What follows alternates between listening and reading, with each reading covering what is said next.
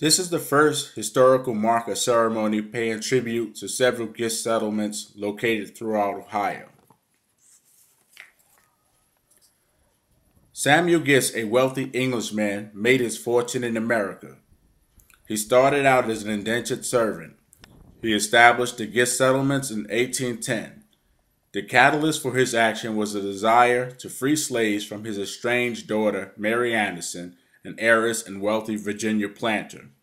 She and her husband purchased over 900 slaves against his wishes. Their actions prompted Samuel Gist to wage the most publicized legal war against slavery prior to Lincoln's Emancipation Proclamation. In 1804, he Gist formed and hired the most learned dream team of his day. William F. Wickham and the Honorable Justice Marshall represented the Gist settlers for several generations. The legal war culminated when Mr. Samuel Gist threatened in his will to bequeath Mary a mere shilling if she did not honor his wishes and emancipate her slaves. In addition to emancipation, Gist stipulated that settlements include churches and schools, and he ordered that each slave be given a lot of land. Executing Samuel Gist's will, Wickham purchased over 2,000 acres of land in Brown and Highland counties just north of Ripley, Ohio. At the time, this represented the largest recorded transaction dedicated to slave emancipation. The Gist settlements proved vital in the development and operation of the Underground Railroad. This large haven for free African Americans was ideal for fugitives seeking temporary asylum on their journey to freedom. Unfortunately, today, the land is currently being used as a dumping ground.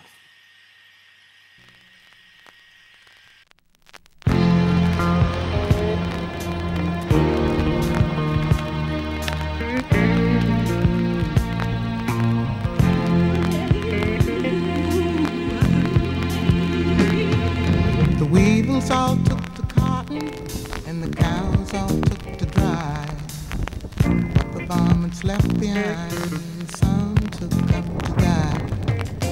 Trouble took to daddy, like dewdrops take to nine. Mama took to crying a lot, and daddy took to wine. And I took a train out of there. I told the engineer I don't believe there's no navy.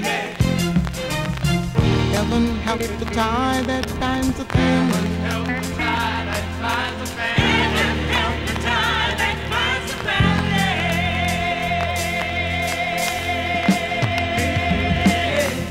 Flowers took to daddy, and daddy he took to gum. Sister took to black real nice, and mama cried alone. Brother he took up preaching, and the bank man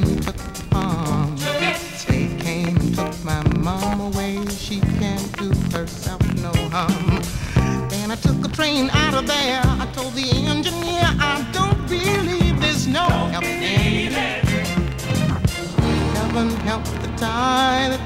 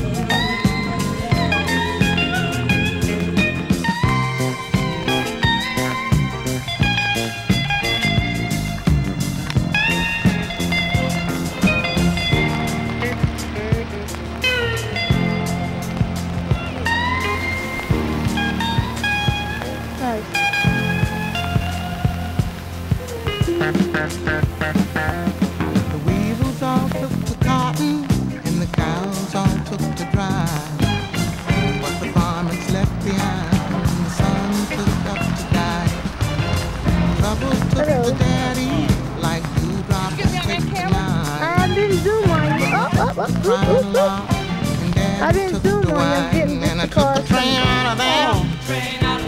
I told the engineer I Did you don't miss swear on air, but I am. no I am. help handy. Yeah, yeah. Let me let me get you on Like tape. You even don't mind God talking can about it? save the family.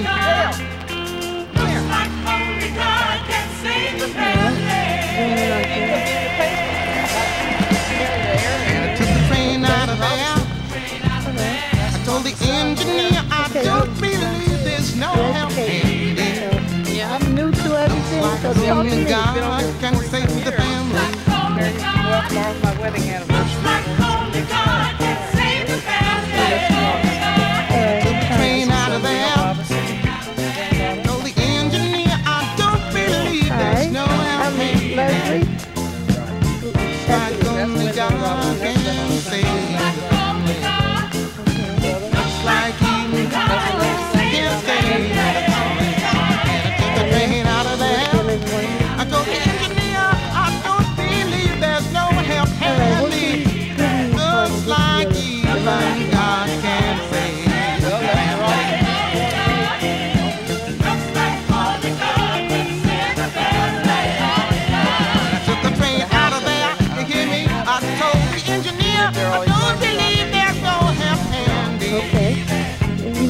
ancestors and? God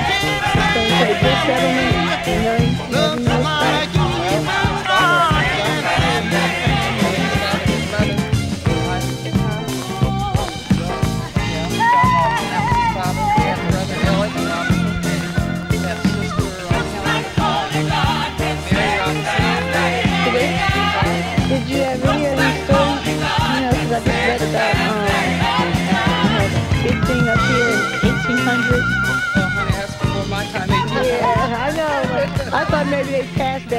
folklore, you know, some stories about the settlement.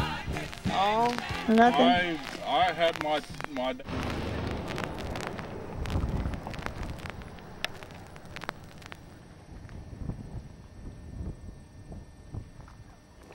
nothing ever nothing ever come of it. You know, uh, went to court over in Highland County. We paid a lawyer to come out of the city, paid him like five six thousand dollars, and he's supposed to have been the best land attorney around, and he come down here and nothing ever got settled. he passes it on to somebody else and the, Just ain't because worth fighting, they say for, Yeah. and then everybody tells you, well, there's a lot of money involved in this. If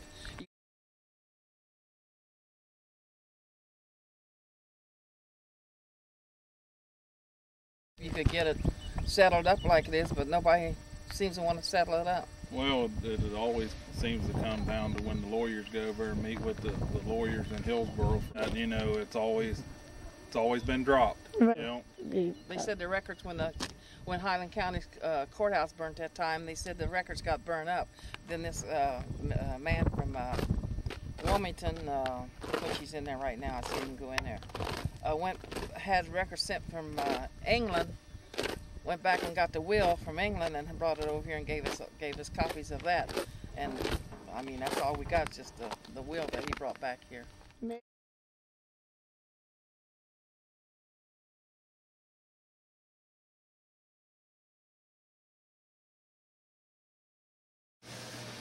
History, in fact, is the record of the story of those of us who live here on God's planet, those of us who choose to talk about it. It's not just a celebration of triumph, but it's a recognition of the day-to-day journey that each chooses to pursue, and the record that we leave behind the bad, the good, the indifferent. Absent that, our sons and our daughters are doomed to go to the big cities and get lost. Absent that, they are taught to hate themselves. Absent that, we are haunted by eternal destruction.